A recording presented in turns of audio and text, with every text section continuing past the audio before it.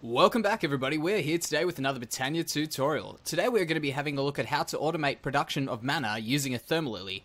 This design I've come up with is actually quite compact and it's also completely tileable. Let's get into it. So here we have the basic layout. All that we have is a dispenser facing into an open block which is above a chest, and a sticky piston behind that dispenser facing downwards. For starters we'll place a block of redstone on the bottom of the sticky piston, and then into this chest we'll face a hopper going from the dispenser. We'll come to the top here and you can place this hovering hourglass wherever you'd like, provided that it is in range to give a redstone signal through some redstone. Place the redstone on top of the dispenser and that will now be bud powering this sticky piston around here as well. Then what we'll do is we'll place 6 soul sand in there. Now that gives us 5 minutes for the cooldown, 45 seconds for the actual production of mana, and then 15 seconds leeway on either side. The next thing we'll do is place a mana pool wherever you'd like the mana pool. We'll just place ours right around there. And then we'll place a mana spreader probably around there. Now we'll just face that into the mana pool as per usual. And the last thing really now for this is just to place the floating Thermalily around there. Now what we'll do is we'll get to the last little bit of the hopper and you'll see a lava bucket will come through. Don't worry about that. What we'll need to do is place two empty buckets and then just fill in this area around here with anything you wouldn't be using. Now all that's left to do is wait the 6 minutes and see how this goes.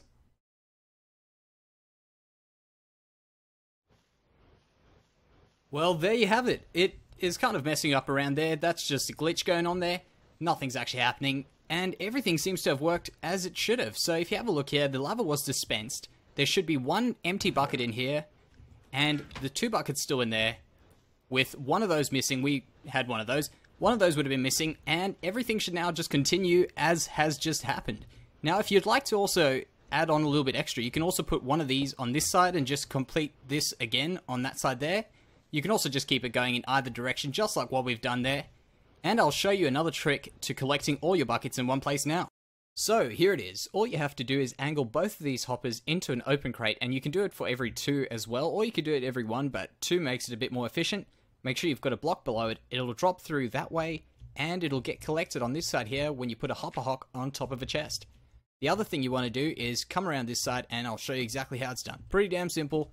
One there, one there, and now it should be working. So that does it for today's tutorial. This is a really quick way to get a lot of mana really early game actually. If you want to have a look how it's done, I'll leave a link at the end of this video to my Let's Play series, which is a Garden of Glass Let's Play series going on right now and it I use this actually in that. Also, if you guys do have any questions or any comments, leave them down in the comments section below. And also like the video if you did like this, and subscribe if you want to see more things like this. Thank you very much, guys, and I'll see you next time.